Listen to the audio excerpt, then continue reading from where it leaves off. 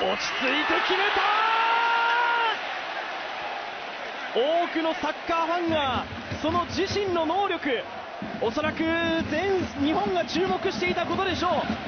本当にこの皆川という男は日本代表にふさわしい男なのか、まあ、そういった目が多く向けられていた大きな大きなプレッシャーの中でそれを拭い去るかのような32分の先制弾。